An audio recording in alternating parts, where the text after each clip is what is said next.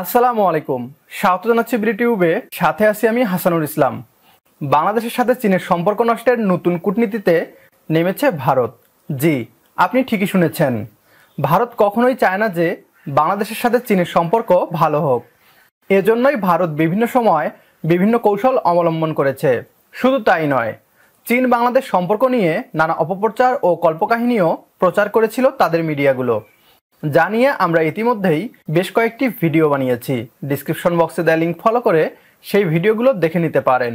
বিডিটিউবের আজকের ভিডিওতে আমরা দেখব বাংলাদেশের সংকট সময়ে চীন যখন টিকা নিয়ে পাশে দাঁড়িয়েছিল, ঠিক তারপরই কি করছে ভারত?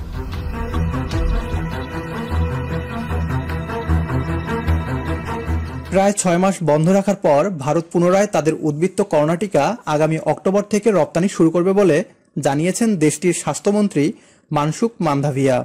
তার ভাষায়, অক্টোবরের শুরুতে বাংলাদেশ সহ ভারতের প্রতিবেশী দেশগুলো আবার টিকা পেতে শুরু করবে। ভারত এমন সময় বাংলাদেশকে টিকা দেওয়ার কথা বলছে, যখন বাংলাদেশের টিকার কোনো সংকট নেই। বিশেষজ্ঞরা বলছেন, বাংলাদেশের টিকা সংকট কাটাতে হাত বাড়িয়ে দিয়েছে প্রতিবেশী দেশ চীন। চীনের প্রভাব কমাতে তড়িঘড়ি করে বাংলাদেশে টিকা রপ্তানির ঘোষণা দিয়েছে। উল্লেখ্য, দেশে কোভিড ওয়েভের মাঝেই বিনা নোটিশে টিকা রপ্তানি বন্ধ করে দেয় ভারত।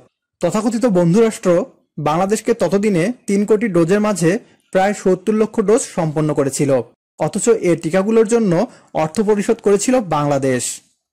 টিকা নিয়ে নানা নাটকীয়তার পর ভারতের কাছে অপ্রাপ্ত টিকার জন্য অর্থ ফেরত চাওয়ারও গুঞ্জন ওঠে। কথা ওঠে আন্তর্জাতিক মামলার।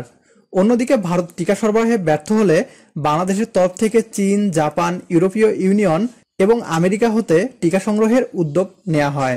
উল্লেখ্য, চীন বাংলাদেশে বর্তমান টিকা সরবরাহের অন্যতম বৃহৎ অংশীদার। চীনা সিনোফার্মের টিকা দেশে বোতলজাত করার উদ্যোগও নেওয়া হয়েছে। অক্টোবরের পর হতে ভারত বাংলাদেশে প্রায় দুই কোটি ত্রিশ লক্ষ এস্ট্রাজেনেকার টিকা সরবরাহ করতে যাচ্ছে। একই সাথে ভারতের পররাষ্ট্রনীতি পর্যায়েও টিকা নিয়ে উস্কানিমূলক বার্তা দিতে চায় ভারত। এর আগেও টিকা নিয়ে রাজনীতি করেছে মোদী সরকার, যার ফলে টিকা নিয়ে চীন বাংলাদেশ সম্পর্কে বেশ কিছু সমস্যার সৃষ্টি হয়। ভারতের ক্রান্তিকাল থাকতে পারে, তাতে আপত্তি নেই। কিন্তু এমন সমস্যায় ভরা দেশ হয়েও টিকা নিয়ে ব্যবসা করতে নেমেছে কেন? বাংলাদেশিরা তো টাকা দিয়েছে, কিন্তু টিকা পায়নি। ভারত বাংলাদেশ সম্পর্ককে যতই শক্তিশালী বলে আখ্যা দেওয়া হোক না কেন, বাংলাদেশের দরকারে ভারতের পিঠ দেখানো ভূমিকা বাংলাদেশিদের সবসময় স্মরণ রাখা উচিত। ভবিষ্যতে বিভিন্ন বাণিজ্যিক চুক্তিতে বাংলাদেশের নীতি নির্ধারণী পর্যায়ে যারা আছেন, তারা অবশ্যই খেয়াল রাখবেন। কারণ, ভারত তাদের দেয়া কথা যে কোনো সময় ভঙ্গ করতে পারে। শুধু তাই নয়, দিনের পর দিন বাংলাদেশকে মিথ্যা আশ্বাস দেয়া কিংবা অন্যের প্রোডাকশন লাইসেন্সের টিকা বাংলাদেশকে উপহার দেওয়ার মিথ্যা ক্রেডিট নিলেও টিকা না দিয়ে বাংলাদেশিদের দুশ্চিন্তাগ্রস্ত করার ক্রেডিট ভারত নিতে রাজি নয়।